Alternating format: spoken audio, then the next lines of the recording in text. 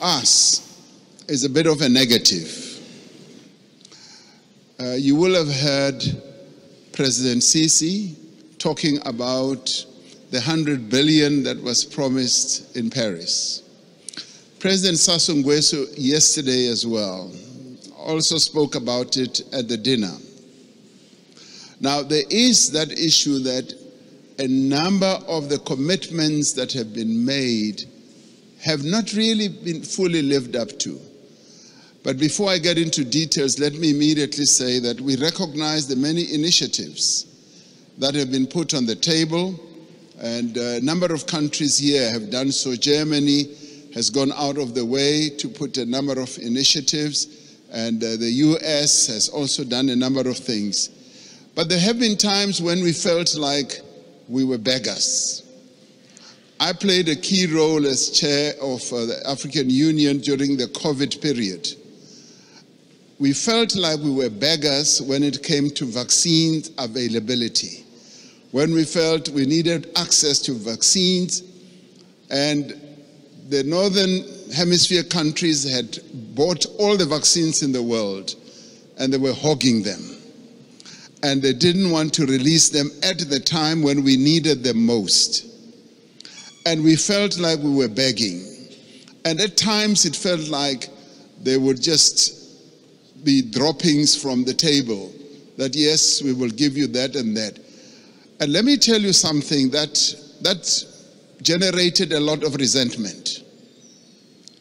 We, we, we resented that, and it got worse when we said we want to manufacture our own vaccines. And when we went to the WTO, there was a lot of resistance, enormous resistance. And we kept saying, what is more important, life or profits by your big pharmaceutical companies? And that too, I must tell you now, generated and deepened that disappointment and resentment on our part because we felt like life in the northern hemisphere is much more important than life in the global south. To us, is a bit of a negative. You, France has been phenomenal. When it comes to SDR, they were right at the front, yep. and, and we appreciate that. Um, what we are saying is different. Is that, is that what you're saying? You're saying is good, but it's not what you're saying.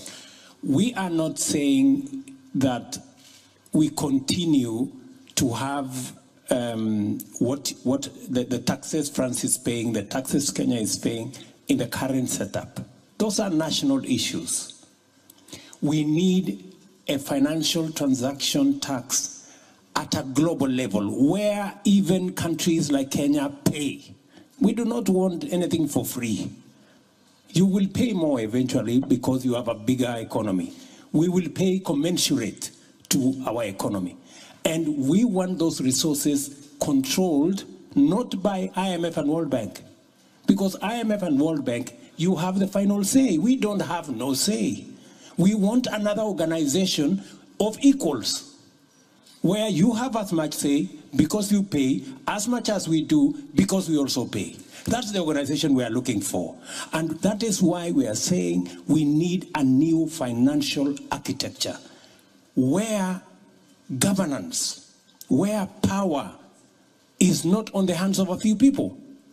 We can agree on the governance of the institution. We can agree on the sharing of power so that all of us have access to resources that go to making sure, number one, renewable energy.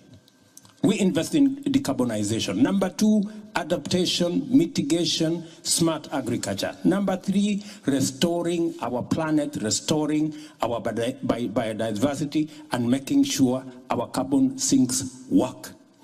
This is what we are saying, and we would appreciate a little understanding. I would. We, we want we want to be, you know, we are talking the normal. If we continue talking the normal, Emmanuel, we will never solve this problem. You, France has been phenomenal. There you have it. President William Ruto of Kenya there at the summit. We are not beggars. The World Bank and the IMF are designed to trap Africa in debt. Well, those are some of the quotes from the African leaders who made bold to kick off all forms of shackles from the West at the just concluded new Global Financing Pact Summit held in Paris last week. Well, we've been joined by two lovely gentlemen, Efem Ubi, Associate Professor, Acting Director of Research, Nigerian Institute of International Affairs, and Dr. Nosike Agokie, CEO John Holt PLC, former CEO of John Holt PLC. They've joined us to take a look at this very important discussion. You're welcome, gentlemen, to the breakfast. Thank you. Thank you. Well, President Ahmed Tinubu was there. He went on Tuesday. He didn't speak uh, live during the economic summit. Uh, um, the Nigerian ambassador to France uh, represented him, but he did meet on the sidelines with uh, Nigerians living in France. But first, let's start with your general overview of that summit. I start with you, uh, Dr. Agokie. Well, I, I, thank you very much. I believe that the summit was timely. Uh, you heard what President Ruto was talking about. Um, have um, an institution, a financial, a new financial institution of equals.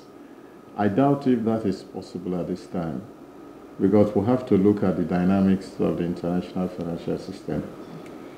Right? So what we need now, and I'm very pleased that some, some of the leaders from Europe and uh, other developing countries have said so, that we need reforms of the World Bank and the IMF.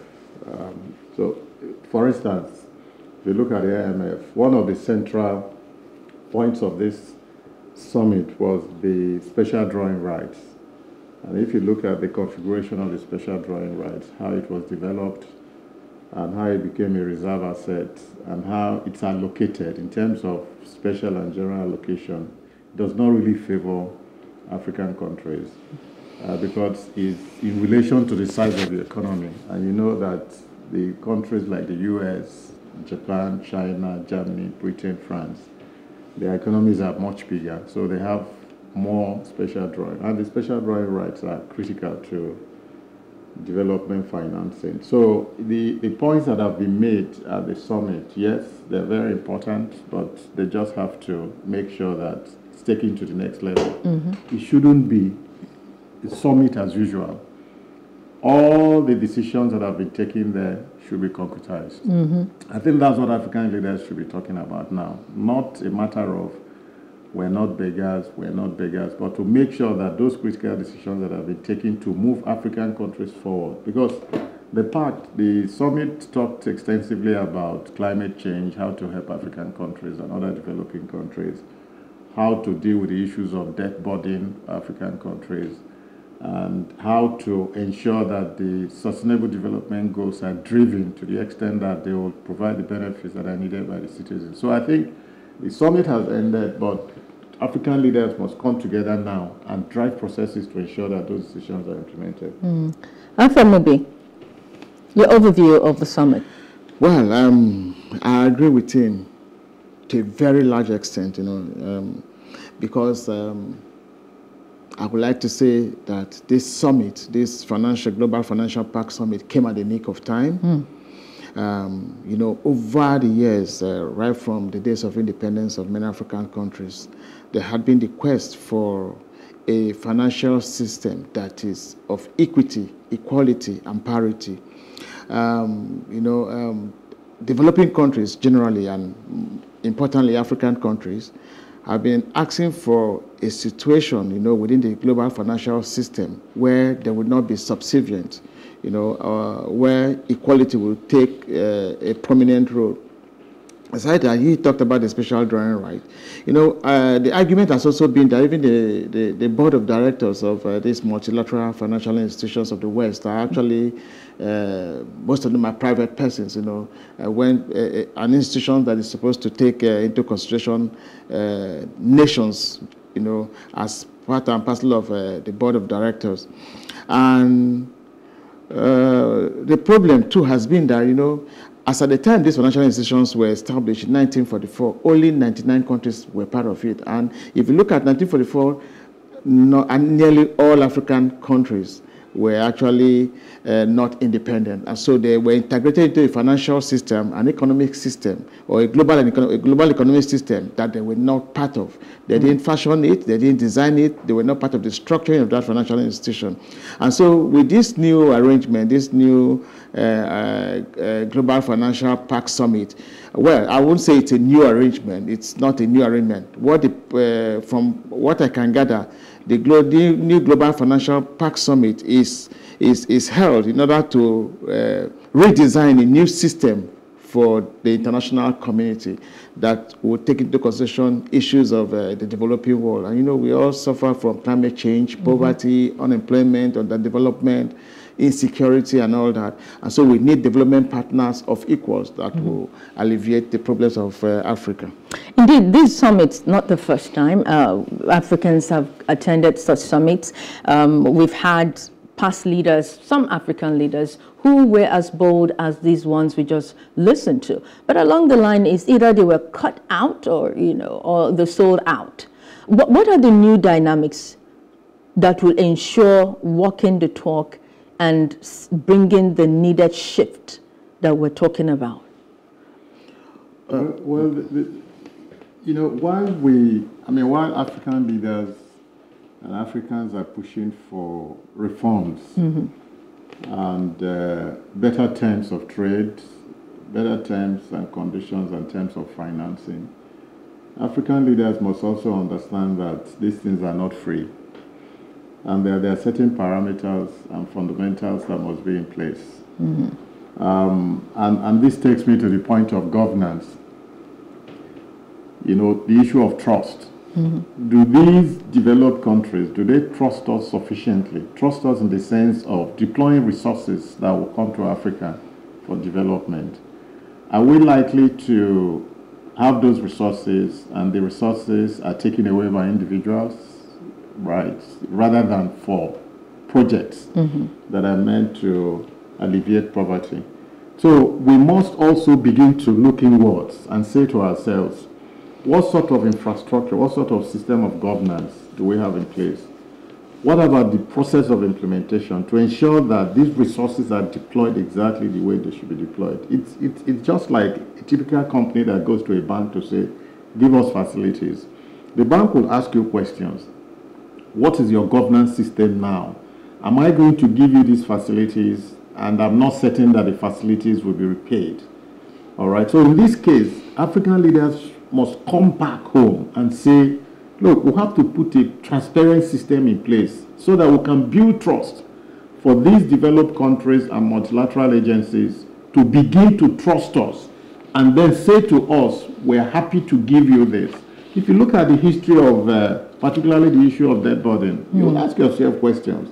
For instance, are we going to the international financial system to borrow to pay subsidies that a few people will put into their pockets? No.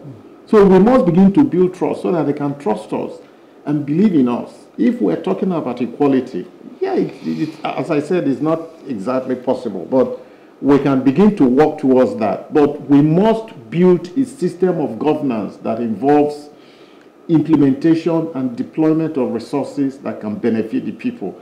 The, the funds that we're looking for are not funds for leaders. They are funds that will be used to develop our economies. Hmm. But if we don't have good infrastructure, if we don't have a system of governance that guarantees that these resources that will, that will come to us will be deployed for the benefit of the people, they won't do anything. They are looking at us. They know the systems of governance and they know the issues that are here with regards to governance. So we must begin to also look inwards.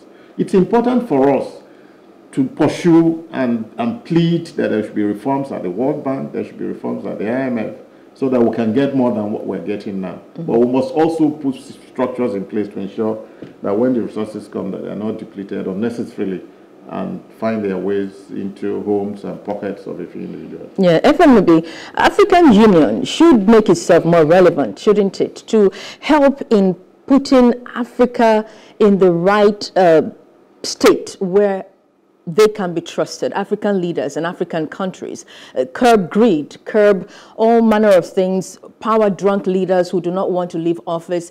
I mean, in the words of Ngugi wa in Petals of Blood, work you know, you, you either eat or be eaten, right? It's, it's, it's, it's survival of the fittest. And so these people are business people. They have countries to protect. How should the African Union come in here to make sure that Africa is indeed taken seriously and that value is placed on the continent by African leaders themselves?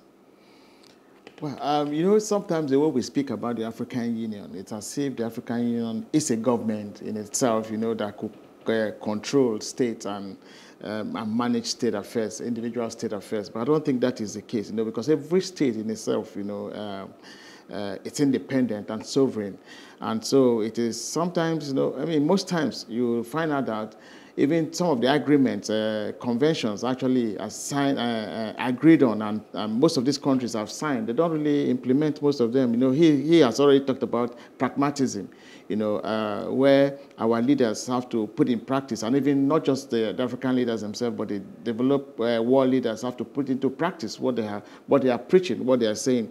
Well, um, I think uh, it is high time for the African Union and as well as the regional uh, economic uh, communities or the RECs, like it is often called, to actually begin to look at ways for which African leaders uh, will be whole accountable mm -hmm. for every action. Um, you know, uh, it's just it's because you know, many African leaders are actually not held ac accountable.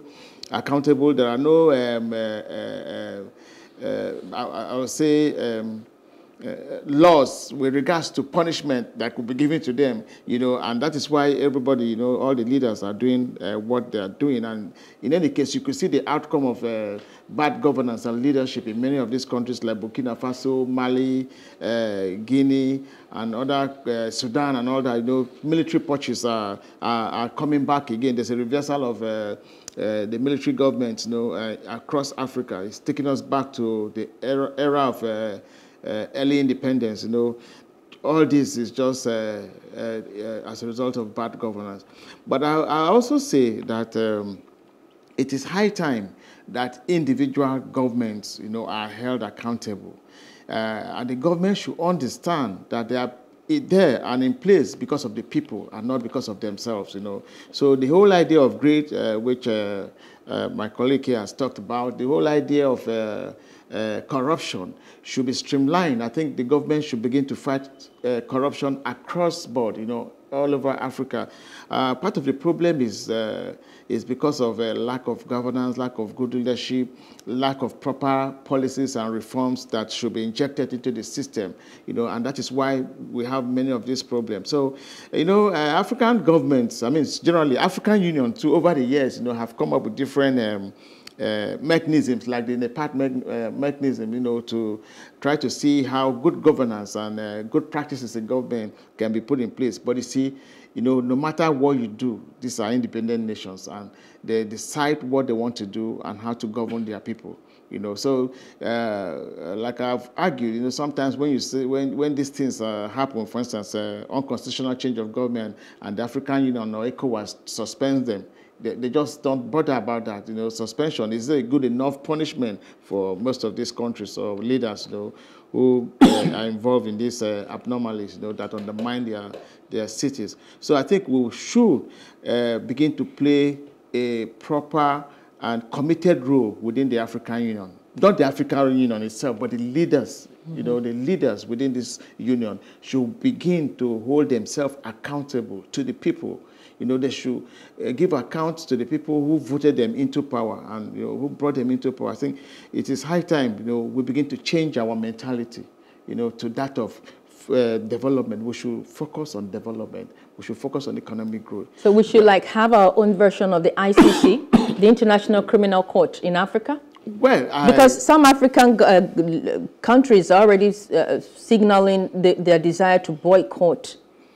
yeah, I, I, I, wouldn't say we should have a replica of the ICJ in Africa because I, I really don't really, I, as, a, as an individual, I don't really subscribe to uh, the ICJ, you know, the International Court of Justice, International Criminal Court, you know, I mean the International Criminal Court, where uh, I find it very offensive when you say a president should be arrested. You know, uh, the, the, question is, can, have you ever uh, asked that the president of the uh, developed country to be, have you ever ask for such a president to be arrested? Why will you? You know, because of the way they place us. And, you know, I think we, I think for me, we don't we don't need the International Criminal Court in Africa or a replica of it in Africa. What should we have in need, Africa? All we need to do, you see, this, this is an individual thing. You could decide not to be corrupt.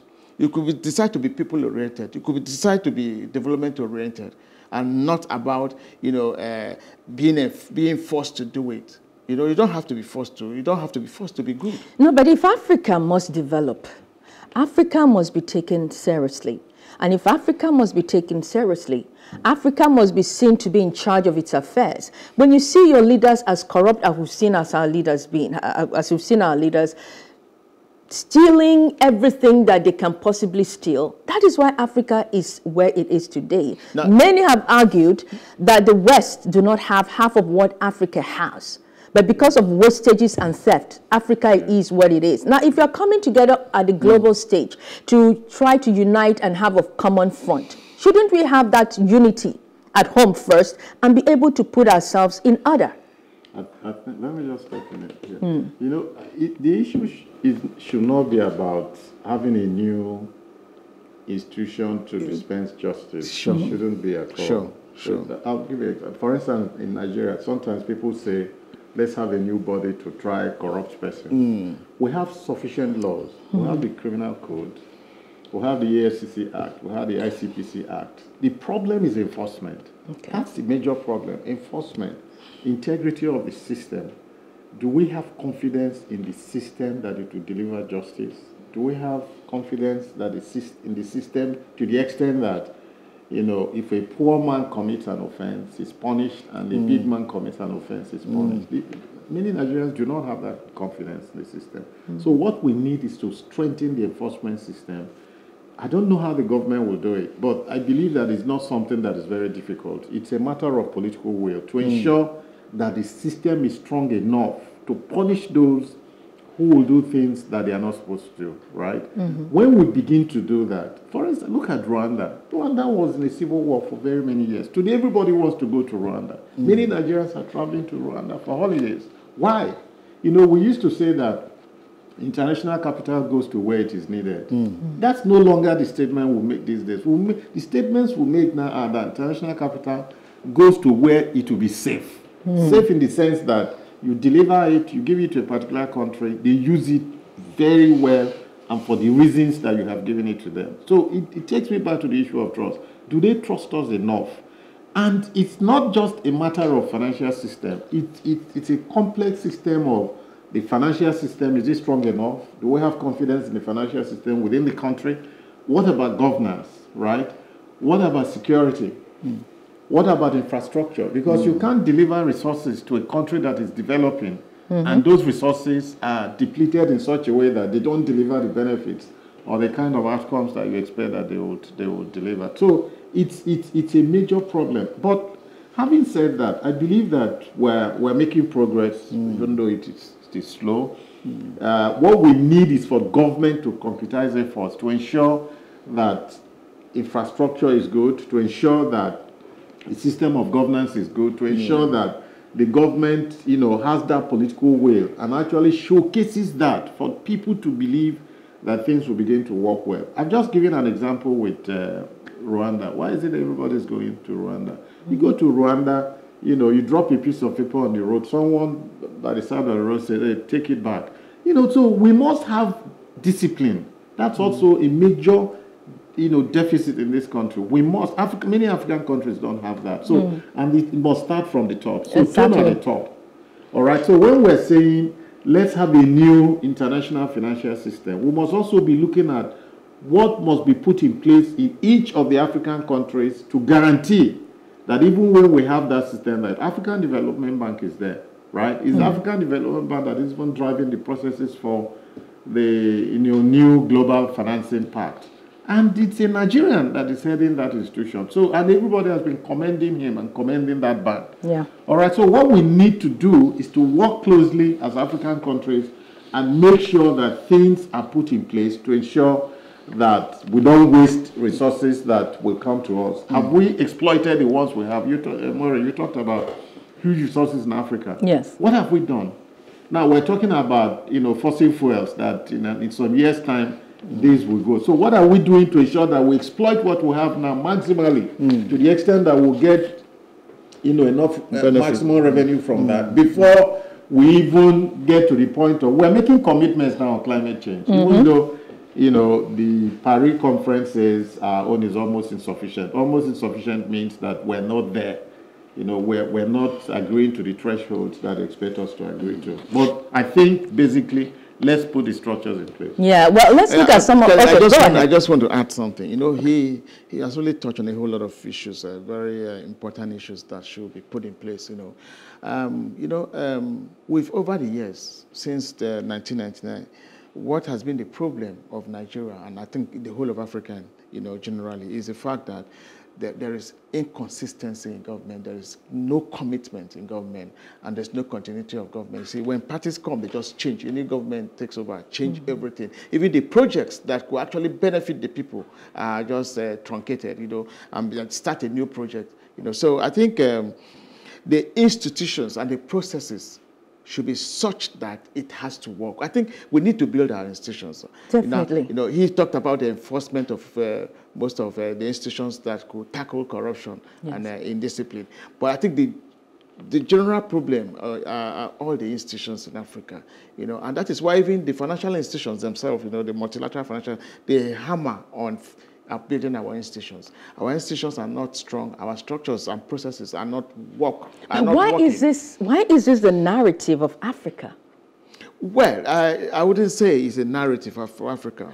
Uh, Especially you that you have the international Nigerian yeah, yeah, Africa. But why is it a narrative? There's so much no, corruption. No, no, and I think I think the, the the issue of weak institutions in Africa it's it's a fallout from the corrupt tendencies of, of leaders and managers of economies. They, mm. You know, the institutions are there, but they don't want these institutions to work very well. So sometimes you have someone who is not qualified, you put the person there to head an institution, an institution that is supposed to contribute significantly to development in this country. What do you expect? You know, you recruit people and recruit those who do not have the knowledge and experience to deliver the outcomes that you expect. So intentionally, people ensure that those institutions are not strong. And if you have weak institutions, there is no way that you can drive development. I, I think, uh, let me just, I, there was a research I did, you know, in the South-South, economic, uh, I mean, insecurity and economic crime in the South-South. And in my conclusion, I said economic crime would never, I mean, insecurity will never end. It will be very difficult to inhibit insecurity in the South-Side because a lot of people are thriving from that insecurity to make a lot of money and all that. So you find out that, like you just said, is our most persons that man these institutions deliberately try to frustrate all the effort put into to make that institution work or the processes to work and all that. I think uh, it's, it's a change of mentality that we need to have in Africa. Mm. Um, I don't understand why we Africans, we're not thinking about the future. You know, uh, we, you know, sometimes it, it, baffles me when we talk about the fact that we are the uh, giant of Africa. As a giant of Africa, you should leave that giant. Mm -hmm. You should walk that giant. Well, the, the, the, summit ended with world leaders agreeing that they wanted a transformation of the world's approach to the investment needed to lift countries out of poverty, overseas aid, and the climate crisis, and a roadmap to be set for fresh discussions on how to achieve these aims. All right, they also agreed on a central principle that the finance needed would run into trillions not billions, and that most of it would have to come from the private sector, kick-started by public money. Now, Kristalina Georgieva, the MD of the IMF, mm. uh, has said that the summit is a success and that they have delivered on their promises.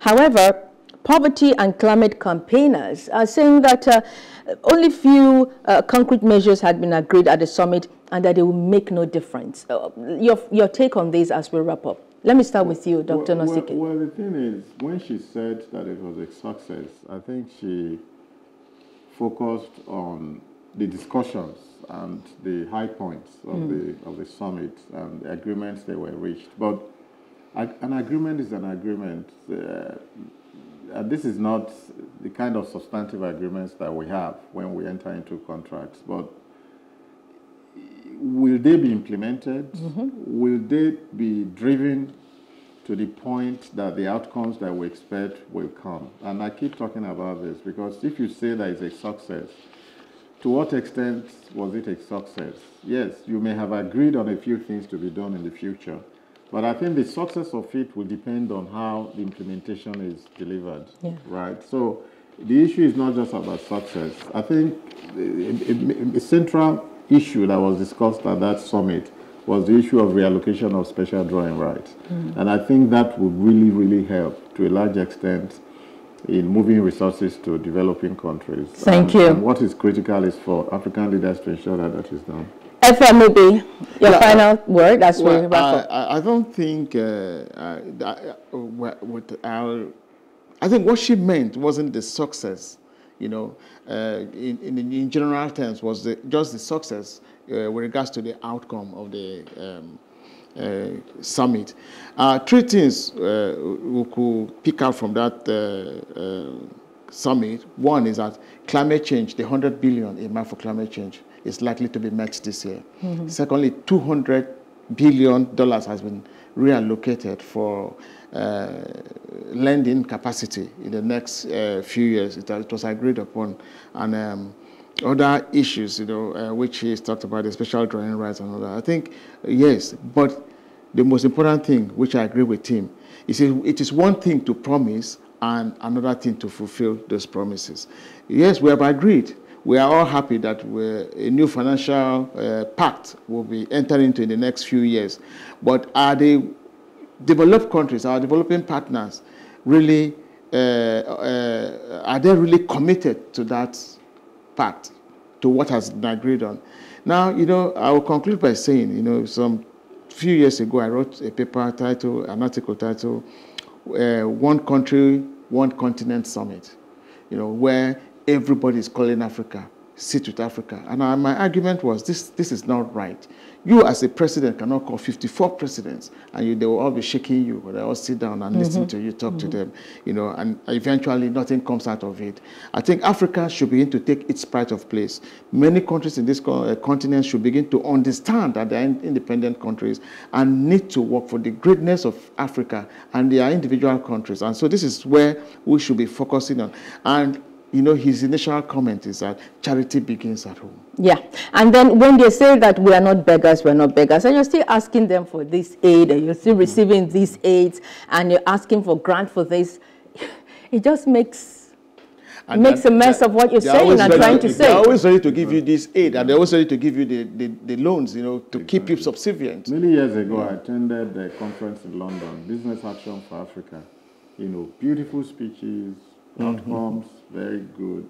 But at the end of the day, what happened? So implementation. Mm-hmm. You know, have proper systems of governance in place and make sure that you implement to the letter of the. The question we should even be asking ourselves: mm-hmm. How did India get to where it is? Is it through multilateral financial institutions or through uh, their development partner? Where did China, how did China get to where it is? How did China yeah, get so to where I think we have to learn new, uh, most of, we have to learn from other countries. That's we have to develop our own, we have to create our own development model, yeah. establish a development exactly. model that is different from what is prescribed to us. You know, we need to move away from accepting prescription because sometimes they don't work. If it, it fails, just like you're sick, you take this particular medication, the doctor sees that it's not working, it has to change. So we need to begin to think out of the box. So Africa needs to think out of the box. African leaders need to come together mm -hmm. with one strong voice and good intentions uh, to clean up the system, make policies that work, and build institutions that work. Thank you so much, gentlemen. Efem Ubi, Associate Professor, Acting Director of Research, Nigerian Institute of International Affairs, and Dr. Nosike Agokie, former CEO, John Holt PLC. Thank you so much for joining us on the breakfast this morning. Thank you. Appreciate Thank you. Well, thank you for being a part of the program this morning. That's the package we have for you this morning, Mindset Monday. I am Maureen Menong Join us tomorrow for another episode of The Breakfast on Plus TV Africa. Good day. Turning over future investment to the private sector and by removing the complex structures which makes NNPC's accountability an assessment of efficiency almost impossible. You see, there are so many layers upon layers built on this simple thing, crude oil. I don't even know whether it's oil or some mystery around it that is taking the money from the central bank. You see, I think we, we, we would demystify all these things. In my government, the, the daily export of crude will be published and the price at which it is sold. You see, the issue of the, the, the issue of plan implementation is simple. You see, you see, public things are not private. We have National Assembly now. They will do their job. They review the expenditure of government and will hold public hearing. We will no longer be hearing of monetary circulars from, from central bank without the bankers being told. The bankers will have to be involved. You see, like I said, every effort has been made in the past to shave people's head in their absence. It must stop. I mean, it, it, it, it, it won't be allowed. I mean, the cumulative wisdom of all the bankers would have seen us out of the problem we have in this country today. But some people, they, they, they come from IMF or they come from World Bank. What, what do they know about Nigeria? You see, the most, the most brilliant doctor in, in Norway might not have seen malaria in his life. So bringing him here and imposing him as a medical director is like sending everybody to, to the grave. You see, I think all that nonsense will, will, will stop. I rely on Nigerians to keep Nigeria running efficiently. And that, that's what it is. You see, there will be a few foreigners who will be recommended by our people, not those who will be imposed by some foreign authorities over us. We are an independent republic under God. Or aren't we?